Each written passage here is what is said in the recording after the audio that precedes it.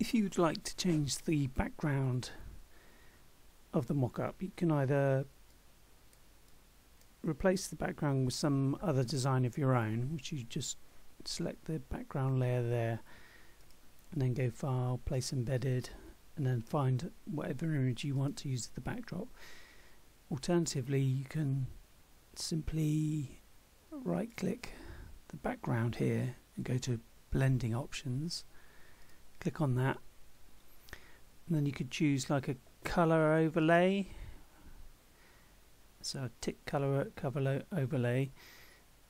If you want to give it a color sheen to the to the the planks background just leave it at multiply and then choose your color um, but if you want it to totally hide hide the uh, the planks it's just a, a flat color you can choose normal instead of multiply and choose whatever color you want there.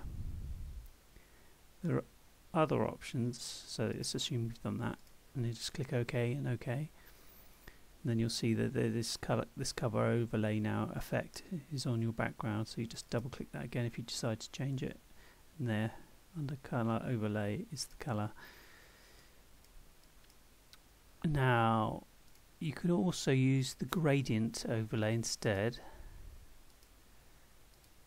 And there if you click so yeah you click unclick color overlay click gradient overlay and there's your gradient. If you click on that depending on what version of Photoshop you, you can either create your own overlays here. For example this is saying this controls the opacity so keep that 100 and 100 and then these are the colors to go from and to. So there's the light blue at the bottom there's the dark blue and just click either of these.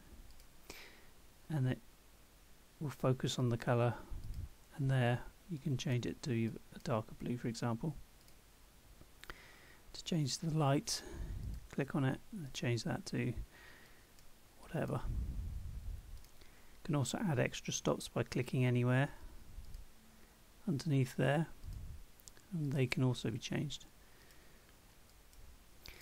So you can build up a, a gradient in that way so you could do something to the planks but give it a 3D effect.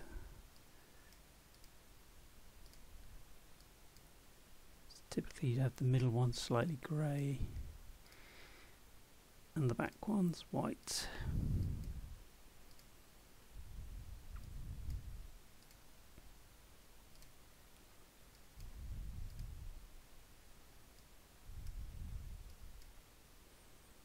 And by moving things around you can get whatever effect you want.